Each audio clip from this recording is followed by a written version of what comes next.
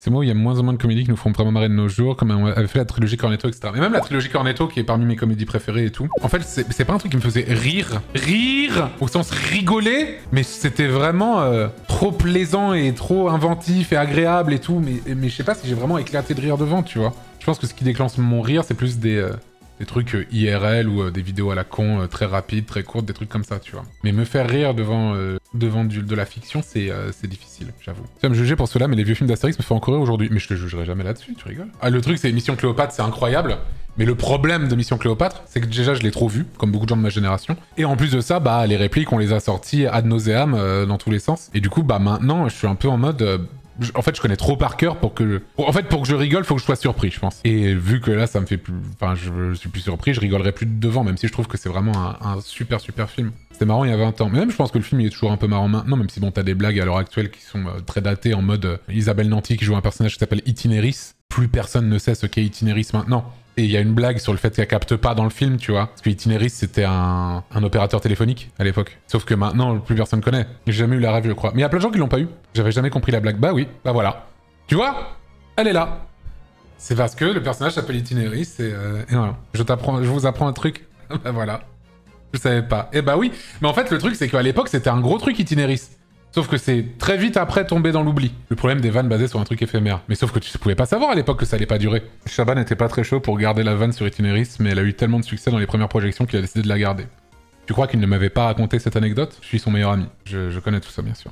La classe américaine, c'est très drôle aussi. Moi, je trouve ça incroyable, la classe américaine, mais aussi, on l'a tellement... euh, ça a tellement été euh, sur... En fait, c'est toujours comme ça. C'est quand tu utilises ad nauseam des trucs, bah, au bout d'un moment, tu, deviens assez hermétique au truc. Mais je crois que j'ai toujours préféré de, la même team euh, le... Derrick contre Superman. Rien que pour Roger Hanin, quand il se fait appeler Enrico Macias au téléphone et qu'il insulte le gars pendant trois heures après. Allô? Allô, commissaire Enrico Dis donc, connard, Enculé d'antisémite de ta mère, tu vas me parler avec un peu de respect, oui? Fils de pute, d'ancien nazi, de bourreau d'enfant. Ton père, il t'a fini à la pisse après il t'a bercé contre un mur. T'es qu'un gros connard, Derrick. Je te dis merde. T'entends? Je t'emmerde. Cette scène-là, elle est légendaire pour moi. Joli coup, Michel, monsieur Michel Bouche. oui, voilà, oui.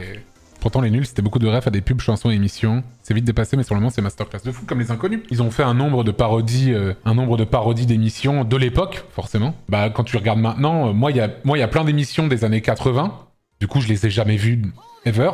Mais je connais juste la, genre typiquement, Tournée Manège. Je n'ai pas vu un seul épisode de Tournée Manège. Par contre, la parodie des inconnus, j'ai dû la voir 12 fois, quoi. Parfois, tu connais juste la parodie, mais tu, tu- après, tu comprends l'état d'esprit de l'émission. J'ai beau être matinal, oui, bien sûr, ça. Alors, ça, putain, voilà une réplique que tout le monde a sorti, putain.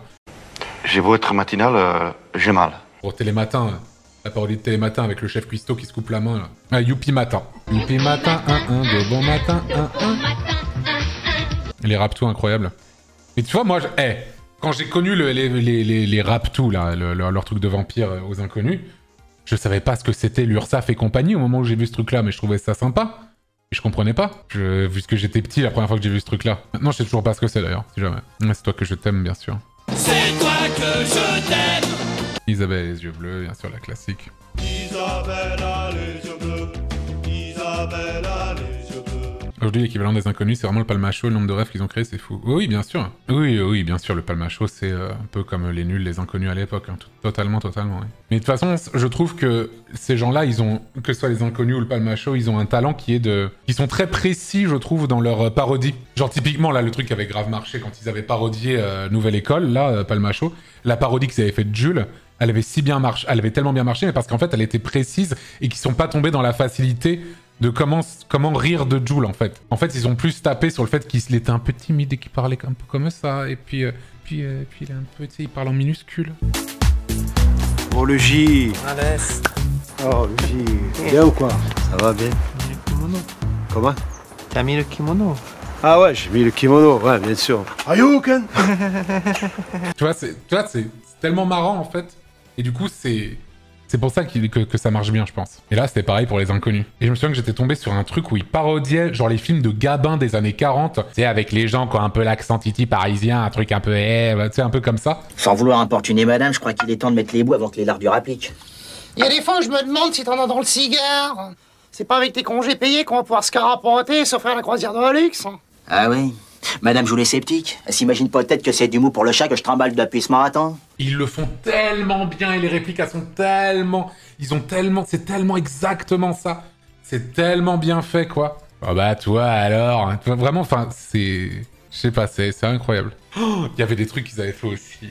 Le truc où il va... Où Bernard Campan... Je sais pas à quel point c'est une mise en scène ou à quel point... euh, le- quand Bernard Campan, il va à Barbès et qu'il il va devant le tati de Barbès et qu'il gueule un truc méga raciste de fou et qu'ensuite il se fait courser dans la rue. Et pour la France, je le fais Je l'ai fait Je l'ai fait Mais oui, putain, c'était fou ce truc-là. Ils ont fait un doublage, en vrai, il a rien dit. Ah oui, bah évidemment. c'est vraiment, je, je m'en souvenu des très fonds de mon esprit, ce truc-là.